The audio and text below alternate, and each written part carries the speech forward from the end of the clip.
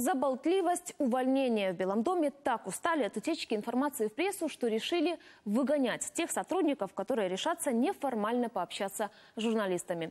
В чем причина такой секретности, Дмитрий Анопченко знает детали.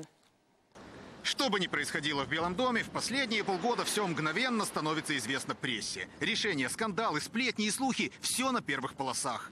Дошло до того, что Дональд Трамп газету «Нью-Йорк Таймс» обвинил, мол, из-за утечки и последующей статьи главаря террористической группировки «Исламское государство» не смогли уничтожить. Ушел, поскольку детали операции журналисты разболтали.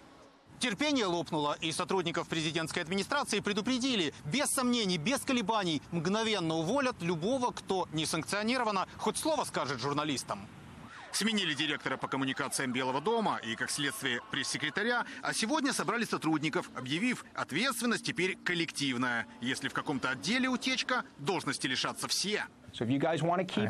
Если вы, ребята, сливаете информацию, а работаете вы все вместе, так соберитесь командой и прекратите утечки. А если ситуация не изменится, я всех вас уволю. Это же взаимосвязано.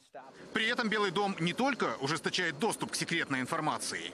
Многих сотрудников президентской администрации теперь даже доступа к внутренней компьютерной сети лишили, чтобы они не видели, какие документы пишут коллеги из других отделов. И это серьезно замедляет работу. Ведь теперь, как в старые добрые времена, документы приходится распечатывать и носить из кабинета в кабинет. Есть еще одно новшество. Твой смартфон в любую минуту могут попросить и проверить, не писал ли ты электронки в «Нью-Йорк Таймс» или «Вашингтон Пост».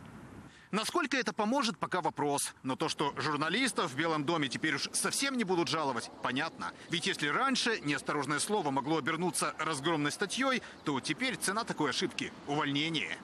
Из Вашингтона Дмитрий Анопченко, Сергей Коваль, Американское бюро телеканала «Интер».